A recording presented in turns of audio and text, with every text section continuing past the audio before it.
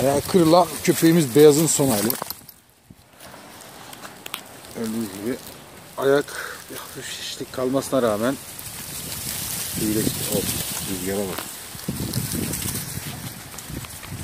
Evet beyaz oğlum gel bakayım seninle bir röportaj yapalım. Ne buldun gene orada?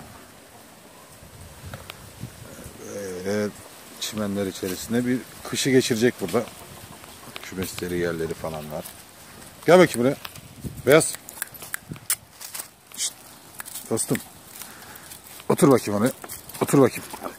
Otur. Aferin. Bekle bakayım orada.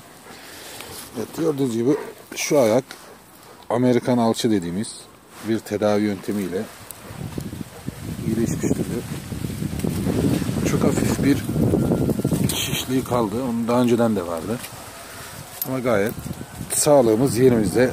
Koşup oynuyoruz. Kaçıyoruz. Kaçtıktan sonra bize haber veriyorlar. Geri getiriyoruz. Akıllı bir köpek ama işte bu cinsler biraz enerjik olduğu için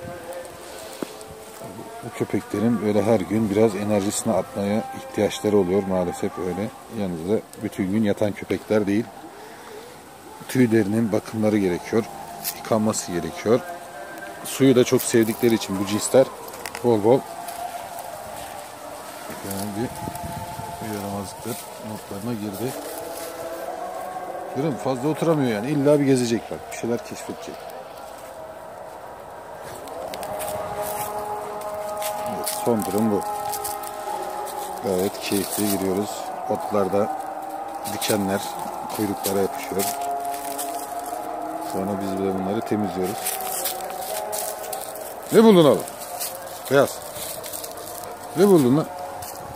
Buruşuk suratlı. Ha? Ekmek mi aldın ağzına? Hiç ağzımı hoşturmasın. Hep hoştum. Tombiş.